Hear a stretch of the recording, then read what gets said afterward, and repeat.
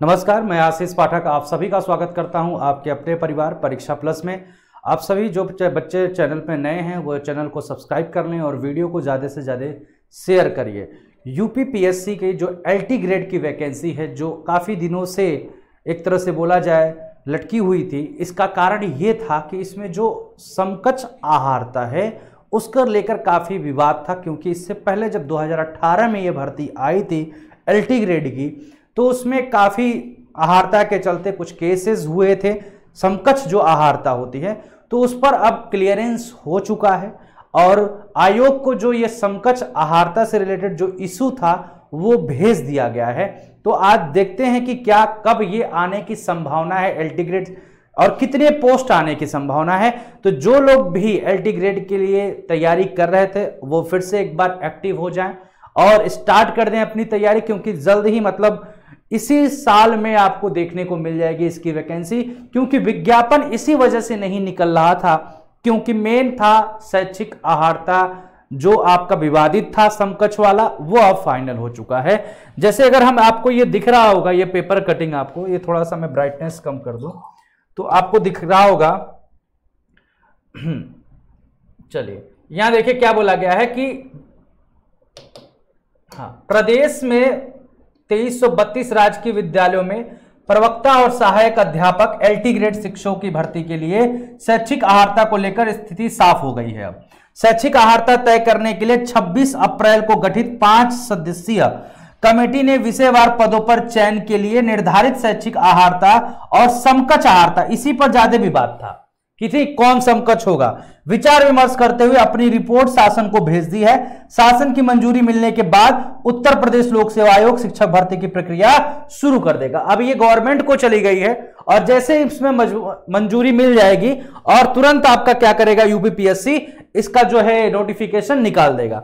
बोला गया है कि राजकीय विद्यालय में सहायक अध्यापक कैटेगरी के लिए दस वैकेंसी कब आई थी? 2018 में आई थी। जिसमें से बोला गया कि पद मतलब एक तरह से विज्ञापन आया था जिसमें ढाई हज़ार से अधिक रिक्त पद रह गए थे। मतलब वैकेंसी फिल नहीं हो पाई थी। कई कारण थे। कुछ आहारता के कारण थे। कुछ आपके जो क्वालिफाइंग मार्क्स था उसके वजह से यहाँ पर ये वैकेंसी पूरी फिल नहीं हो पाई थी। तो ढाई हज़ार पद आपके बच गए थे।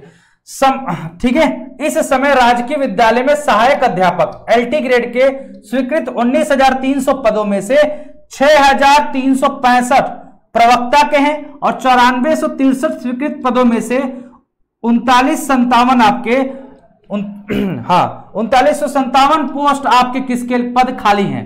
लोक सेवा आयोग को रिक्त पदों की सूचना मिलने के बावजूद ऐसा नहीं है कि ये आपका अध्याचन भेजा जा चुका है लोक सेवा आयोग को कि इतने पोस्ट खाली हैं। उसके बाद भी नोटिफिकेशन नहीं निकला तो उसका बस एक ही कारण था। वो था कि शिक्षक भर्ती की प्रक्रिया शुरू नहीं हो पाई थी।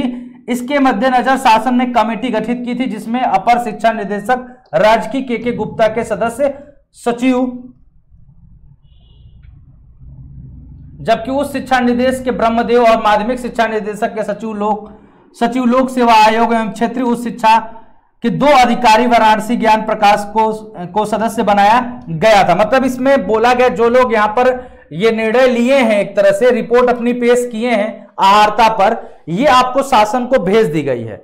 अब ये जल्द ही शासन का बस उस पर मुहर लगना है और शासन का मुहर लगते ही ये लोक सेवा आयोग को चला जाएगा शैक्षिक आहारता और उसके समकक्ष और यह नोटिफिकेशन लोक सेवा आयोग निकाल देगा, क्योंकि उसके पास रिक्त पदों की संख्या ऑलरेडी पहुँच चुकी है।